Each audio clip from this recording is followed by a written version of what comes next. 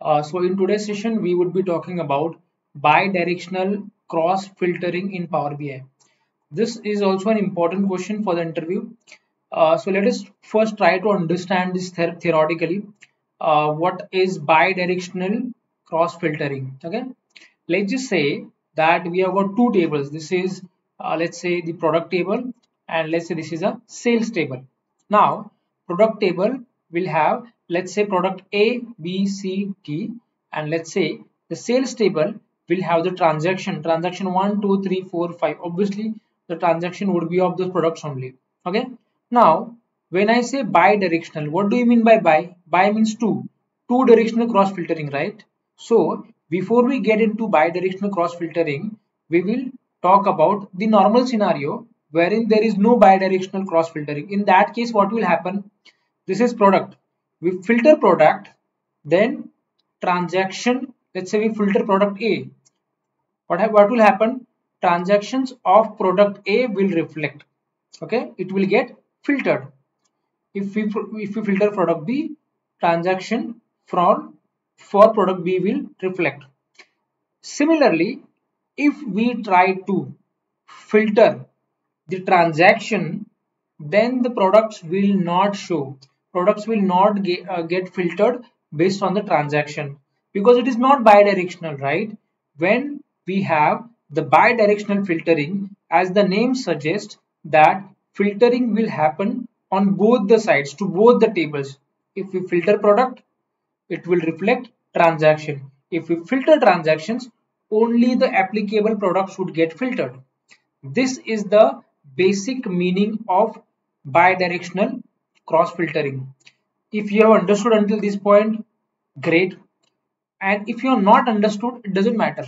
Because i will show you a very simple example uh, through which you will be able to easily understand this. Let's get started with the example. Now just try and be focused for the next two minutes or next five minutes and then you will easily understand this concept okay? And i guarantee you you that this is the one of the easiest explanation on internet for the bidirectional cross filtering. Okay? So let's get started. So until now what i've done is i have imported the data set. Okay? Within our data set we have got two tables. If you see the table one it has got the this is basically the product table and uh, it has got product id and the other fields. And then we have got sales table.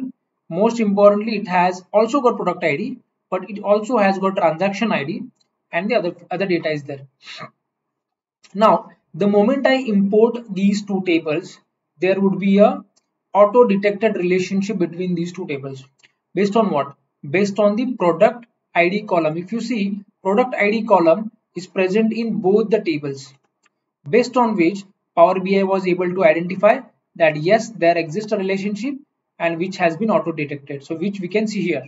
Okay this has been auto identified if it is not identified obviously you can manually create it not a big problem. Now we will actually get started with the example. How do we understand this? Let's do one thing. We will quickly create two tables okay? I'll, this is table 1 and this is table 2 so i'll create one more table. This is table 2 okay?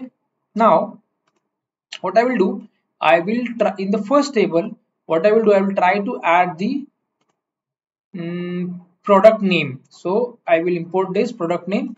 As we can see it is reflecting only the product name. On the second table what i will try to do is i will add the transaction IDs. so i'll go to sales table and select the transaction ids but it is not showing me the list of all the transactions and i'll tell you why. Because if you click on this icon and if you see the aggregation it is reflecting count. That's why we are getting the count but we do not want the count so i will click on do not summarize so that i get the list of all the transactions. I hope you are until i hope you are clear until this point. Now what i will do i will just make this a slightly bigger so that it would be easily visible to you guys. Just give me a minute. Okay now i have done the filtering to this one so i will apply the same filtering to this table as well. Okay now this looks better so that now at least it is visible to us okay now what i'll do i have got these two tables okay so currently i have not done any setting for bidirectional filtering okay so now let's say if i filter product A, it is reflecting me only three transaction 147. This is based on the data that we have. It is reflecting just the three transaction that is 147 because product A has done the transaction for these three transaction IDs. Uh, just in case you don't believe me, I will show you product A. Okay, so I will quickly show you. If you have a look at this data, product A means product ID 101 okay? Now let's just see the transaction for 101 transaction for 101 belongs to 1 4 7 so 1 4 7 now see this. 1 4 7 now i hope you believe me that based on the product transaction ids are getting filtered okay? I'll do this i'll try the same thing for other products as well.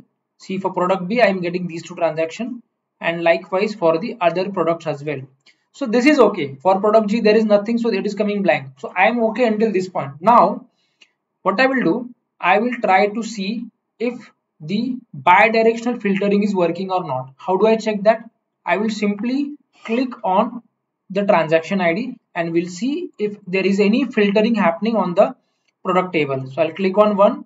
No change no change no change no change no change. So basically bidirectional filtering is not happening and that's why when I when I click on any of the values nothing is happening. Why? Because there is no bidirectional filtering. Now what we will do we will apply the bidirectional filtering and then we will see if the effect is taking place. Okay? So I'll go to this data view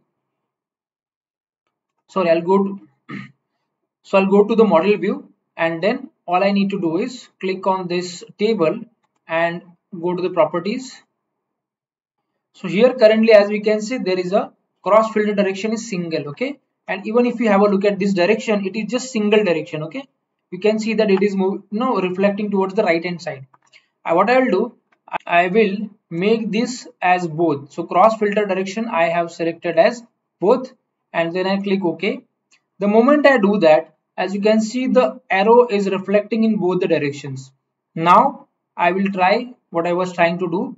So let me just first remove any filter okay now if you see i'm filtering a it is reflecting 147 okay b so this this was already happening.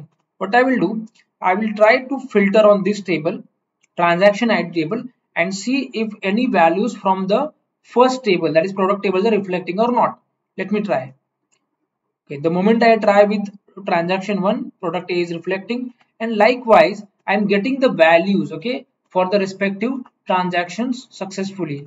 What that means is after I have applied the bidirectional cross filtering, the filtering is happening from both the tables, table 1 as well as table 2. That's how cross filtering works. Okay, but there is a word of caution. Whenever you want to use bidirectional cross filtering, be a little careful because or this may lead to performance issues within your reports. Okay, and the second thing is that it may create unnecessary complications. So we just have to be a little careful while using bidirectional cross filtering and be a little alert okay? Only if it is required then only we should apply it okay? I hope this uh, was helpful. And one last thing uh, so before we finish the session just one last thing that don't be somebody who thinks that because just because i've seen the video I have learned something. Don't be somebody you know who thinks like that. Don't rather I am sharing the data set. You please practice it. Only if you practice, then only you will learn. Okay. Thank you so much for watching.